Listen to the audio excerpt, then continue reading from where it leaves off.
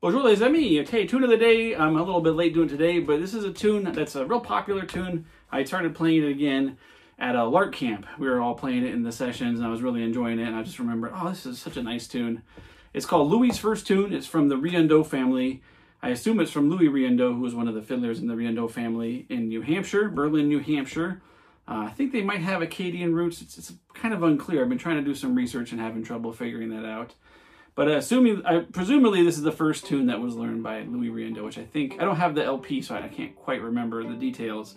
But I think that's the story. And I thought it'd be kind of fun because we did Fred's tune, which was like the first tune that Gerry Robichaud and his family learned. So sometimes the first tunes that a family learns are kind of really special. And this tune is one of them. It's a very pretty tune, very crooked too. And uh, yeah, let's, let's try it. Louis' first tune from the Riendeau family.